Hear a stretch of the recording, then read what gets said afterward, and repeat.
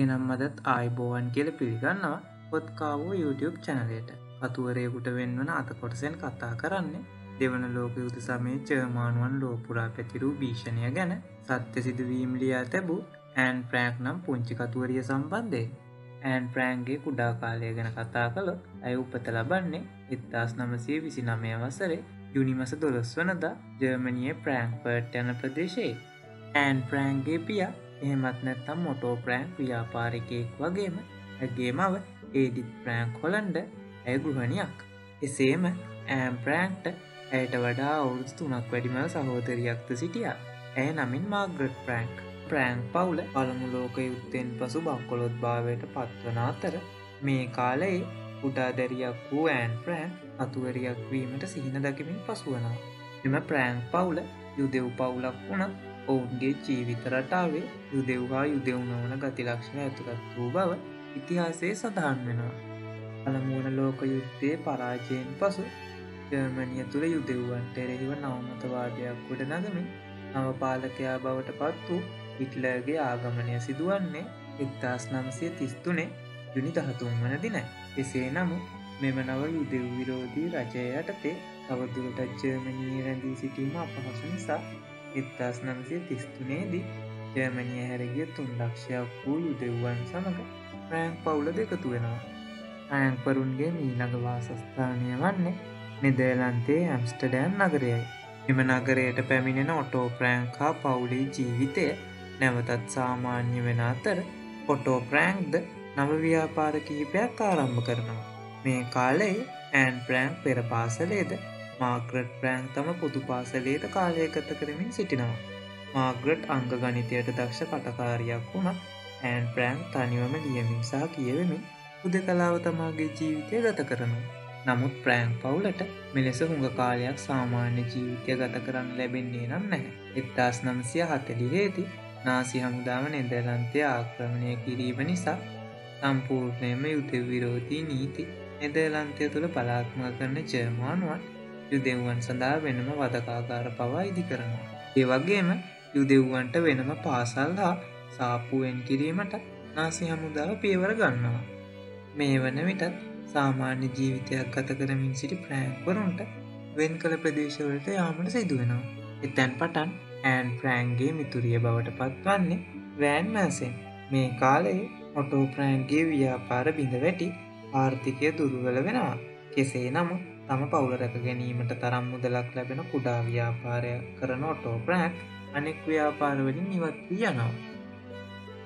ඉතින් ඇන් ප්‍රෑන්ගේ දිනපොත ගැන කිව්වතින් එත්තාස් නම්සිය හතලිස් එකේ ජූනි දොළොස් වනදා ඇයට උපන්දින තෑග්ග ලෙස ලැබෙන සමරු පොත ඇය තමාගේ දිනපොත කරගනිම ඉක්මනින් මෙහි දිවීම ආරම්භ කරනවා. ඇගේ පොතේ මුල් කොටසේ ඇගේ සාමාන්‍ය දිවි පෙවෙත හා ඇගේ සිතුවිලි ගැන ජයමානුවාක්‍රමණ නිසා නෙදේලන්තේ ඇති වූ තත්ත්වයන්ද සාකච්ඡා කරනවා. එත්තාස් නමසය හතගේ ජුනි විසිවෙනිද ඇය නෙදර්ලන්තේ යුදෙව්වන්ට එරෙහි වැටි සීමා හා නීති ලයිස්තුගත කිරීමක් සිදු කරනවා. මෙම කරුණු පසු කලගේ ඉතාමත් වැදගත් ඉතිහාස සාක්ෂි බවට පත්වෙනවා. ඉතින් ඒ වගේම ඇයි නිදියක් වීමට මැවූ සිහිනය ගැනත් ඉත්තනියගේ මරණය පිළිබඳවත් ඇයි ශෝක සටහනක් තබා තියෙනවා.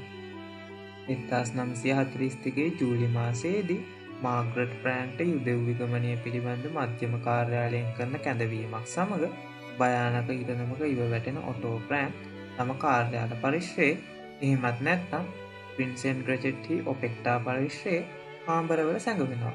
ඔවුන්ගේ ආරක්ෂාවට තම විශ්වාසනය සේවකයන් කිහිප දෙනෙක් දැනුවත් කිරීමට ඔටෝ ප්‍රෑන්් අමතක කරන්නේ නැහැ. ඔවුන්ගේ රහස්සැගූම් ස්ථානය ගැන කතා කළොත් මේ නිවැසක පසුපස කොටස.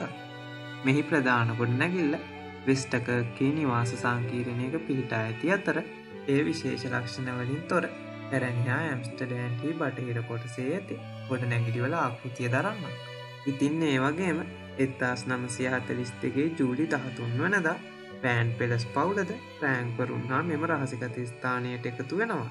වෑන් පෙලස් පවුලේ සාමාජිකයන් තුනක් වූ අතර ඒ අය නම් හර්මන් වෑන් පෙලස් ඔගස්ටසා දාසය හැවරදි පීටවෑන් එමෙන්ම මෙම පිරිසට නොයම්බරේදී පවුලේ මිතුරෙකු හා දන්ත වෛත්‍යවරයෙකු වූ පිටස් පෙප යන අයවලුන් එකතු වෙනවා මෙම රහස් නිවසට ඇතුල්වීමට ඉඩ ලැබෙන්නේ පොත්‍රාකයකින් වසා දැමූ පිවිසුමකුණුයි.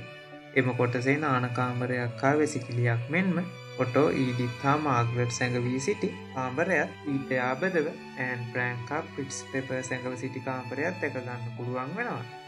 පිවිසුමේ අසල ඇති නිමගින් දෙවන මාලයට ගිය පසු පීට සැඟව සිටි කාම්බරයක් හමන් සහ ඔගස්ට සැඟව සිටි කාම්බරයක් දැකගන්න පුළුවන්. මෙම නිවසේ ඉහළම මහලේ වුණේ අට්ටාල කාමරයක්.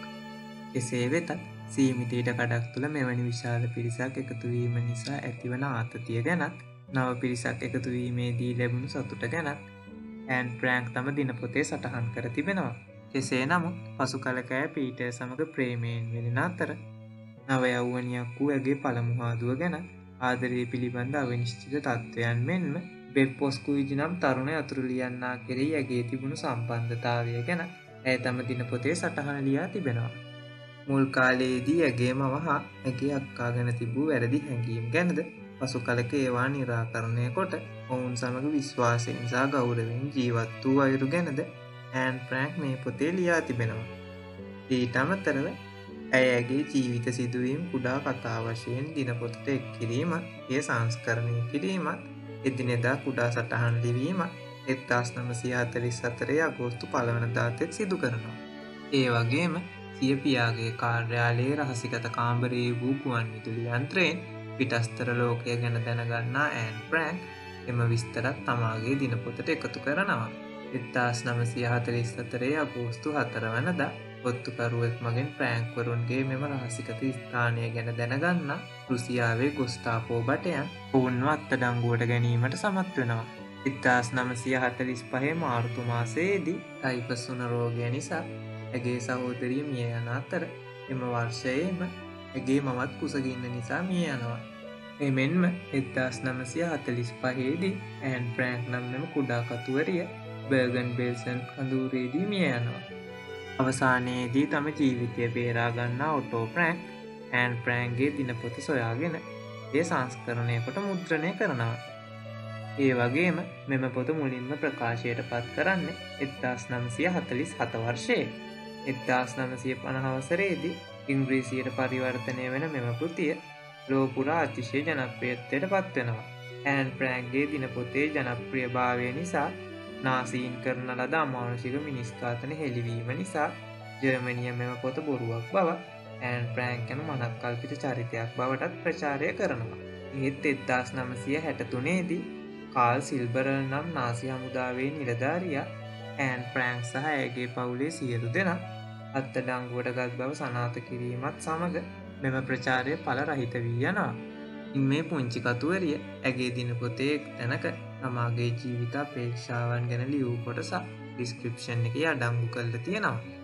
මේ වගේ වීඩියෝ තවත් නරබන්න පොත්කාවෝ YouTube චැනල් එකට එකතු වෙන්න. වීඩියෝ එක හොඳනම් ලයි කරන්න ඔයාගේ අදහසත් පල්ලෙහැන් කමිට් කරන්න. ඒ වගේම පොත්කාවෝ YouTube චැනල් එක සබ්‍රයි් කරන්න යාළුවන්ට බලන්න ෂයා කරන්නත් අමතක කරන්න එපා